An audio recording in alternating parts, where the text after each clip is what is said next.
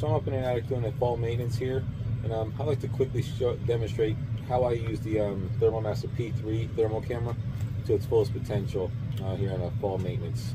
It's an 80% gas furnace. So first off, some, some of the benefits of this unit is going to be just its compact size. So as you can see, it's got the manual focusing ring.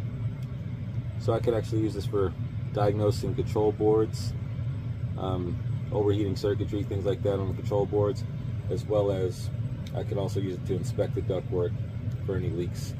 So I'm going to quickly show you exactly how this thing looks.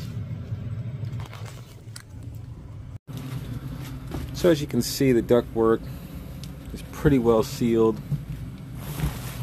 You can see there's some heating up where they're all connecting here. Pretty hot, but it's no leakage. That's the hot water heater there. Hot water heater line. As you can see. But all the ducts appear to be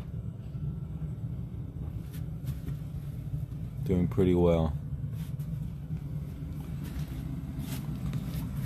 Go over to the unit here. Make sure everything is sealed around the cabinet.